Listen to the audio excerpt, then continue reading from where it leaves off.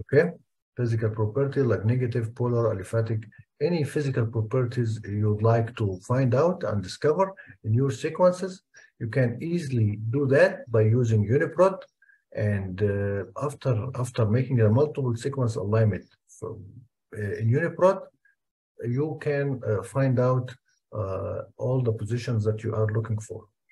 I just point out uh, that uh, UniProt using Clustal Omega because in the training I, I mentioned that you want you'd like you have to use Clustal Omega. So uh, the only program that can be used in UniProt is Clustal Omega. I mean the this program already embedded embedded in the UniProt website. So if you'd like to do um, uh, multiple sequence alignment in UniProt, you have to bear in mind that that this website using only Clustal Omega. Okay. I hope this answers many questions.